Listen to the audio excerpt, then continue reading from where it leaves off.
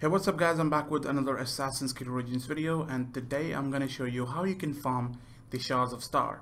So I just recently finished the Curse of the Pharaohs and realized that the level cap has been increased from 45 to 55. With that we can now upgrade our gear even more. But in order to upgrade your gear you need an item called Shards of Star.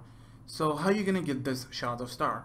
Well, in-game you can actually kill the undead pharaohs to actually get some shards of star, or you can find the shards of star inside some bases, which I don't think is a good way to farm it.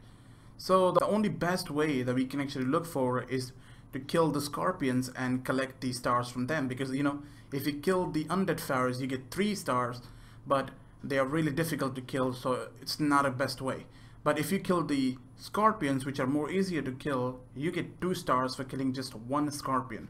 So it kind of makes sense, you know, to go for them.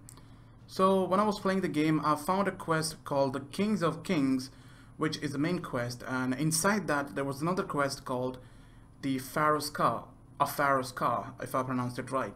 So you have to look for the quest called Kings of Kings, which you will find when you're playing the main game itself. You will find this quest. As soon as you find this quest, you keep doing this quest, you will come across this mm, quest called a Pharaoh's Car, where you have to go and find an eye.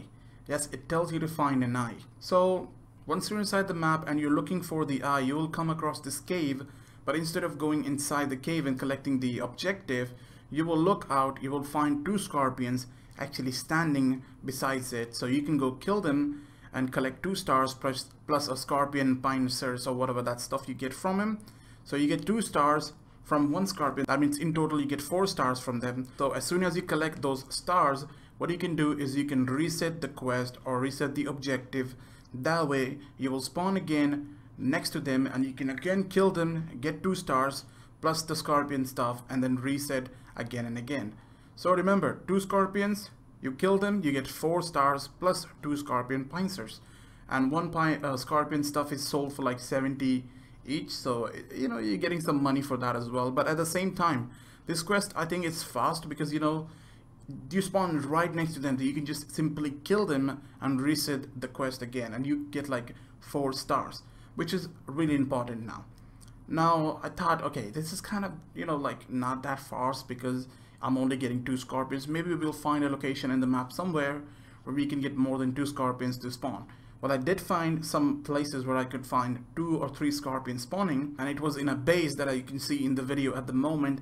This was the base. I went inside the base and I found these three scorpions uh, inside this base, and I killed all three of them, and I reset the quest, and again they spawned. So that was a good thing, but the problem was that I spawned 70 meters away from them. That means I have to go again inside the base towards them, and it takes like 5 to 6 seconds, which I don't think so uh, you guys will waste time, you know, just walking after the base again and again. As soon as you reset the quest, they spawn you outside the base, which I don't like at all. So, considering the fact that it takes some time to just go inside the base, I find the other farm method more easier where I could just reset the quest and they spawn right next to me.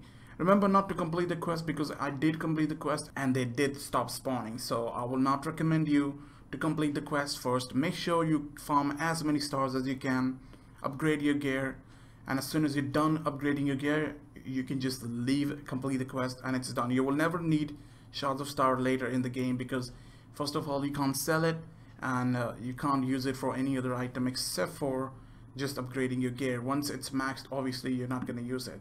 So it makes no sense. I have no idea if we will ever need shards of star in future because it kind of makes the um, the undead pharaohs a little bit useless except for the fact they give you 1000 XP. So that's a different thing, okay? And hope you guys enjoyed this video and found this video helpful and I'll see you guys in the next video. Bye-bye.